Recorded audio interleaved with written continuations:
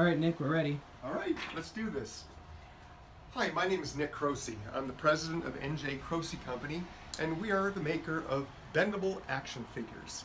And you may wonder, what is a bendable action figure? Well, the bendable all started with Gumby in the late 1950s, created by Art Clokey, who created the Gumby Show. He loved his character so much he needed a toy, so he created the very first bendable, posable figure, and he sold millions and millions of these great little bendables.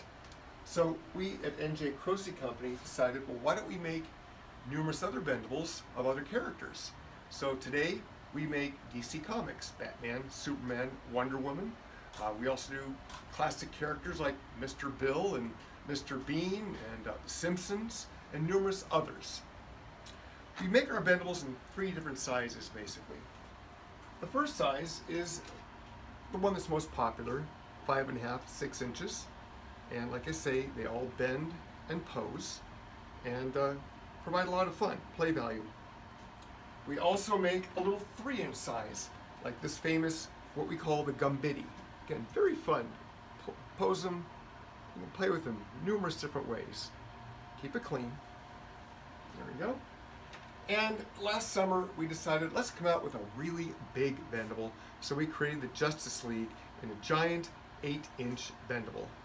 And what's really cool about this is not only is really big, but I want you to see something here. Our workmanship is absolutely second to none. The sculpting is dead on, our paint ops are perfect, and the packaging is wonderful.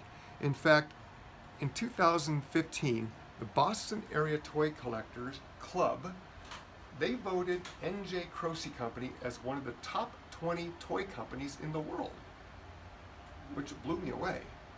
And I'm really proud of that fact. A humble little bendable company. And we also make our bendables into keychains, like this woman here, Harley Quinn. She'll keep your keys for you and protect them for you because she's bad. Well, thank you very much. That's Bendables in a nutshell, and I hope we do business with you very soon. Have a good day.